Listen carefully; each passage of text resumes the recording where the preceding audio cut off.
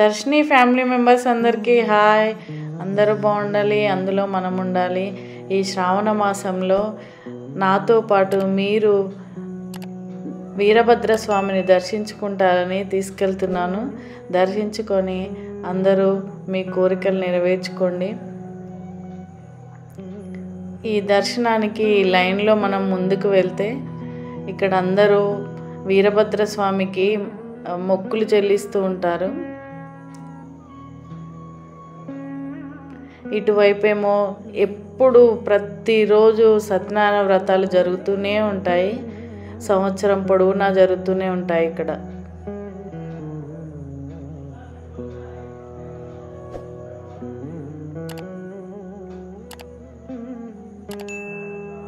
కొంచెం ముందుకు వెళ్ళిన తర్వాత వీరభద్ర స్వామి గర్భగుడి వస్తుంది.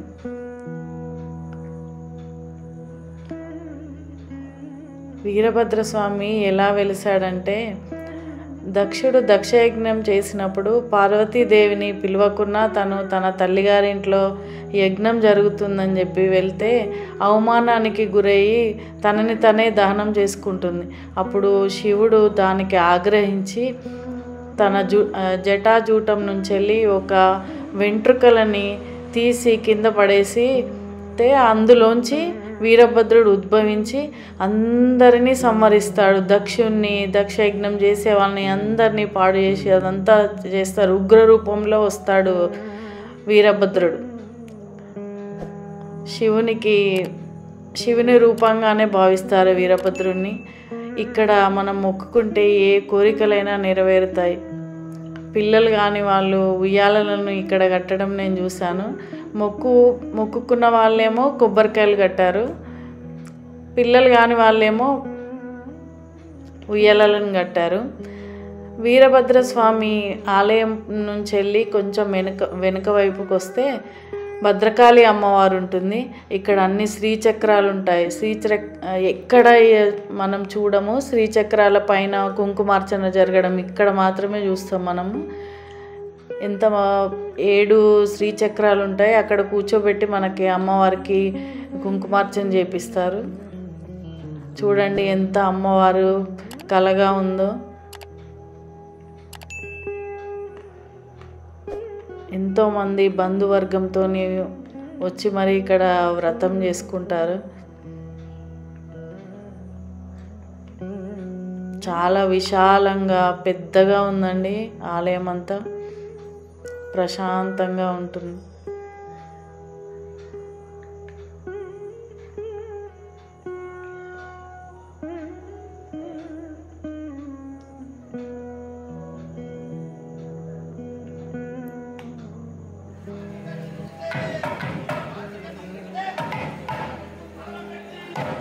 ఇక్కడ వీరభద్ర స్వామి కోసము కొంతమంది కళాకారులు ఈ ఈ ప్రదర్శన అంతా చేస్తారు. వాళ్ళు కొబ్బరికాయలను కుట్టడం కానీ బియ్యం పోసి చెంబును కత్తితో గుచ్చి ఇట్లా పట్టుకొని దాన్ని ఎంతసేపు అయినా అట్లాగే ఉంచగలుగుతారు. అది దేవుడి మహిమ అనుకుంటాను. బయటికి రాదు ఆ కత్తి. మనం వాళ్ళు తీసే వరకు అది వీరభద్రుని ఖడ్గం అని అంటారు వీళ్ళు. చాలా బాగా చేశారండి ఇదంతా.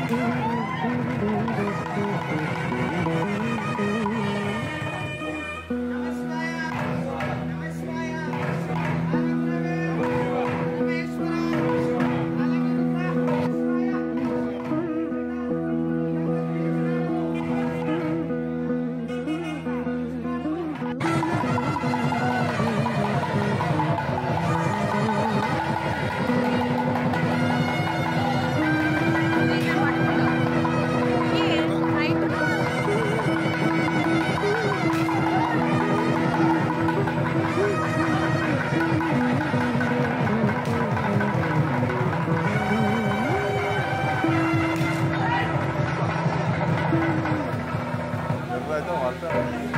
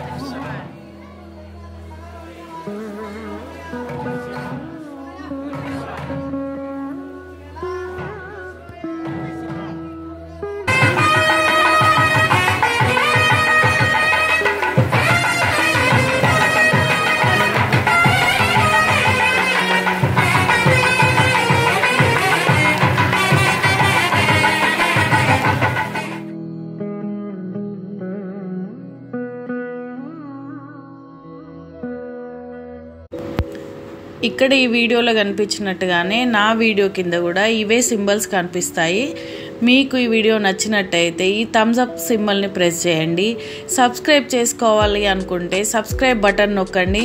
బెల్ ఐకాన్ నొక్కితే నా వీడియోస్ అన్ని అప్డేట్స్ మీకు వస్తాయి.